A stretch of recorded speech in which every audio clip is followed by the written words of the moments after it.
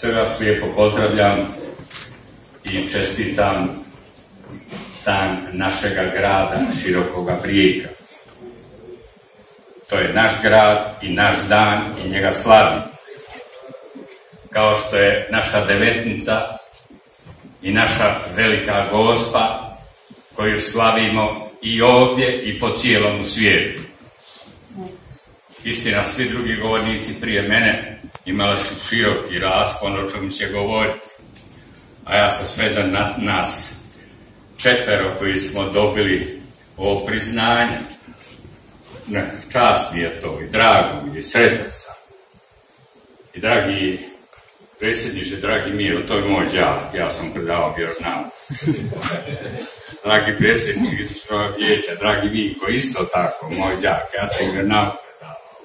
I svi vijećnici, iskreno vam hvala za ovaj dar, za ovo priznanje.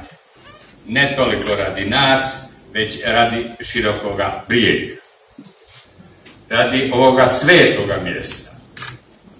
Je, radi jedinstvenoga mjesta u povijesti crkve i povijesti čovječanstva. Kad bih imao vremena, a neću vam ga oduzimati, ono je dragocjeno, o to bi mogao nadugo i široko govoriti o svetosti mjesta široki brijeg i njegovu značaju. Zahvaljujem se u ime firme Vibar koja proizvodi gume. Ne znam o njima ništa, jedan put sam bio kod njih, bili su ekspeditivni, bolje nego švicarski sad. Za pet minuta su promijenili, menuli, izvoli, frace, idi, vozi, neka ti bude sretno. I ostao sam jednostavno frapiran, zar je moguće da ima kod nas e, tako efikasni ljudi koji to na brzinu rade, kažu meni, ma Bože je to sredio, ne znam niko je Bože. Ja vam čestitam, vama zbilja čestitam, jer vi, ne znam koliko imate radnih mjesta, vi hranite obitelji naše. Vi činite da naši neodi ne idu tamo. Grki su tamo zaloga i hljeba gdje svoga nema, gdje brata nije. Ovo se svima vama obraća. Čestita našoj matici. Matica je poput onog hrasta. Ovdje su osvijecali svaki čas koju grad. Sad Turci, sad Ugri, sad Austrijanci, sad Njemci, sad Venecijanci, domaći Jugoslaveni, orjunaši. Svi su od nje osvijecali. I nosili su sjekire da su mogli posjekli buje. Ali živali smo mi narod. Mi koji smo malo stariji, sjećamo se 71. godine. I uništavanje Hrvatskog proljeća. Maca je bila ne samo smetnja, ona je bila maligno tkivo koje je trebalo straniti. Slo, zloća koje je trebalo straniti. I zato su svugdje po cijeloj zemlji, ondašnjoj Jugoslaviji, najprije uništili maticu. Jer ako ostaviš jedan narod bez kulture, bez jezika, nema nema naroda. Ja sam možda nekad i bez to rekao, rekao, naše frate nisu pobili radi toga što su molili Boga u koru. Naše frate na širokom brijegu i što su babe otišle, išli ispovjedati po mokrom pomogu. Već što su držali gimnaziju. Što su držali se kulture, školstva, jer to stvara nove ljude. I zato na poseban način čestita Maci tebi, dragi Gojko, što god moraš učiniti, učini. Ja sam sudjelovao u nekim recitacijama, pa sve neki zamjerali. Šta ćeš ti tamo i stari i ovo. Pa zvali su me. Ako mogu ovoliko pomoć, pomoć. Sljedeći je naš Džono. Džono je, nije Džono boje. Džono je nestvarna stvarnost koju nam je Bog dao. Njega nitko ne može definirati. Definiraju ga njegove slike.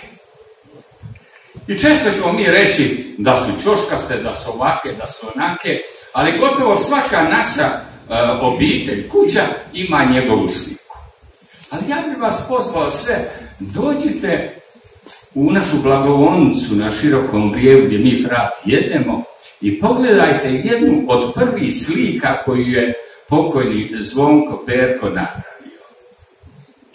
Tu se može očitati Zvonko, njegova duša. Tu je Zvonko dao sebe. Jer na toj slici se vidi i glad, i neimaština, i suša, i, i, i cijela panorama Hercegovine. I onu dramu koju je doživljavala. Ali tu se vidi da se pojavi u sred toga, u to, toga jadnoga stanja, pojavi se crn čovjek s brkovima, frata, nosi dijete u naručju, dakle ima, bit će života. Dok je nama Tićar Dralovića, naše pleme, izguniti neće, recitira neku pjesmu epsku, ne zna Dakle, to je naš džomun. Otišao je dio širokoga brijega. Ali ostao je u našem sjećanju, ostaje sa svojim slikama. I na koncu je to naša dane, i ja sam tu. Ne, ne,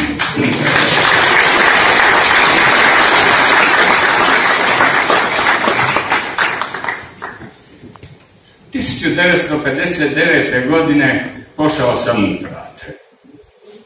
I tu su mi visoški fratri, koje nikad ne mogu zaboraviti, usadili klasično obrazovanje i franjevačku karicu. To je temelj. Na, na tim temeljima je sazidan cjelokupni moj život. Prije 55 godina obukao sam Franjevački hatac. I tada sam ga zavolio i ne skidam ga ni danas. Iako nije baš preporučivo da danas se habit nosa, može se u civilu. Ali ja ga nosam uvijek zato što se ga volio i volim ga i danas. I sjeća se prvog duhovnog nagovora koji nam je pokojni Framile leko održao na huncu, po strašan vrućini, vruće bilo, kao danas, samo ovdje ima klima, čini se. I rekao je, draga braćo, neka vam bude životno geslo, a to je Franjina karizma. Non solo sibi vivere, sed alis proficere. Ne samo živjeti za sebe, već i drugima koristiti. Nastojao sam to ostvarivati u svoj životu. I volio sam taj svoj poziv, voli ga i danas. Volio sam i ispovjedati, i propovijedati, i držati katehezu. Nema na brijegu komu nisam držao vjeronauk. I ispovjedati staru čeljadi i graditi crkve, počevši od Knežepoljske, pa što su rekli, do Humačke. Sve sam to volio, sve mi je to drago bilo. Jednostavno, mm, na solidnim temeljima je to građeno.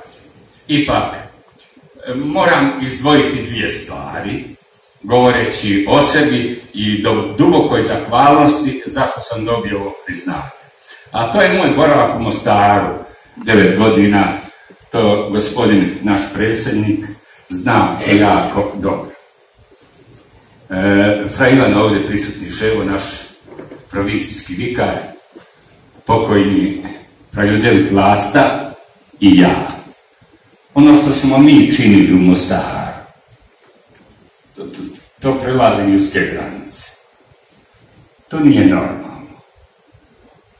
Mi nismo imali ni dana ni noći. Nismo imali svoje intime.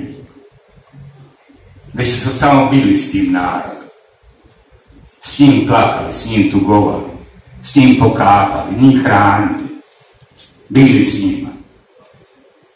E to je to nešto što ostaje u čovjeku. Jest teško, jest tužno, ali ostaje trajno čovjeku. Moram vam ispričati samo jedan slučaj, makar je to nepopularno ovakvim, ali moram ga ispričati. U jednom trenutku, kad smo već bili gore u Cimu, kući, kad nismo mogli više stanovati u samostanu, dođe neka žena i kaže, došla jedna obitelj gore od prozora, križanac. Ušli su u neku baraku, niti imaju svjetla, niti imaju ništa, ništa nemaju. Gdje su tamo, ova, tamo, tu su, tu su, negdje tu su. I ja pođe idem i naći. I došao sam i našao sam tu obitelj. I unutra su žena, djeca i jedna mala curica. I na je komad kruha i mlijeko, ili se to zove tetrapak ili ne znam kako se zove, ono mlijeko, ono, kupljeno mlijeko, ništa više. Ništa više. Odakle, kako je tako, od prozora su došli, Spred crkve ugleda jedno djete, malo, liko. Djete diše, diše kao da ima astmu, ovako iskrivljena kiča.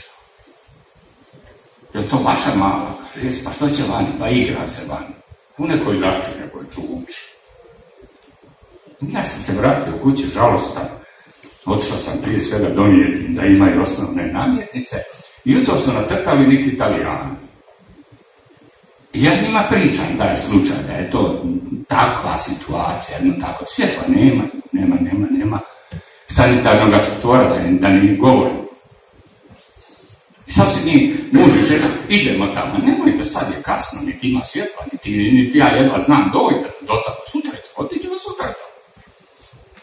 I otišli smo sutra tamo, i ova se žena, gospođa, rasplakala i to, pa kako je, pa što niste išli doktoru, pa šta, on kaže, mi smo išli, ali trebalo bi ići na operaciju negdje. Kakva operacija kad nema ni kruha, nema ni mlijeka, nema ništa, ni operacije, nema ni govora. Išli su oni u Italiji za deset dana, oni meni javljaju. Isposlovali smo da dođe u najbolji centar za rekonstrukciju kičme u Bologni. Sve je plaćeno, osim puta i prenoćišta. I tu smo počeli.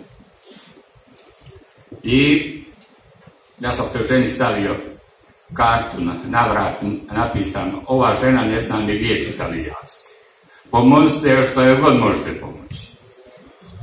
I ta je curica osam puta bila na operaciji, dakle potpuna rekonstrukcija kičme i dva manja zahvata.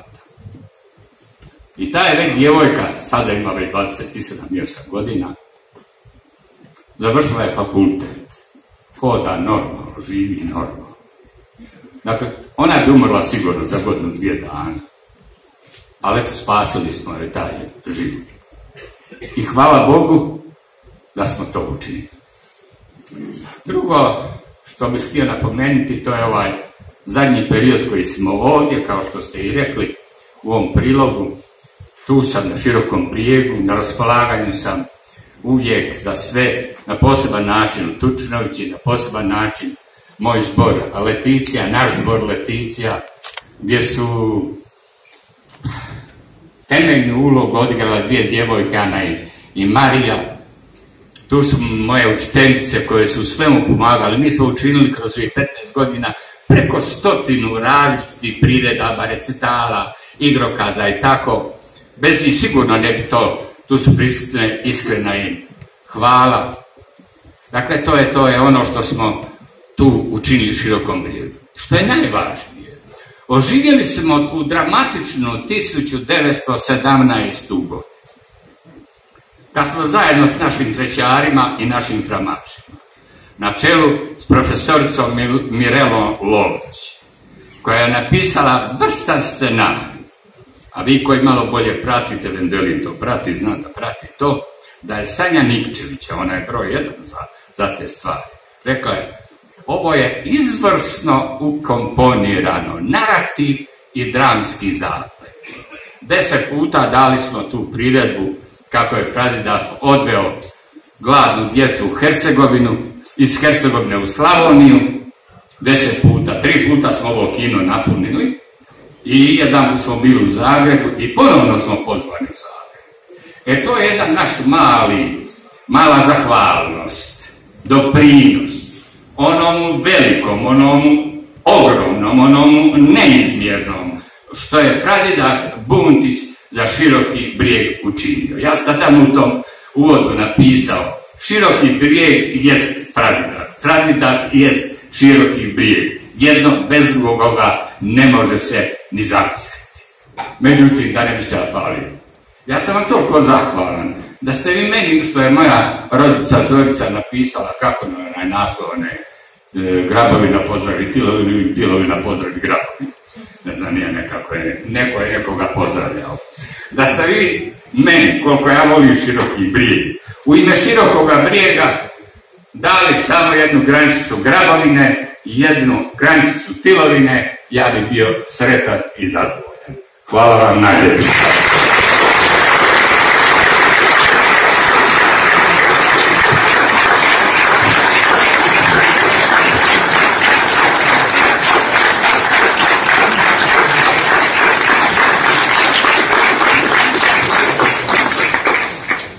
Hvala našem Fradani Karačiću.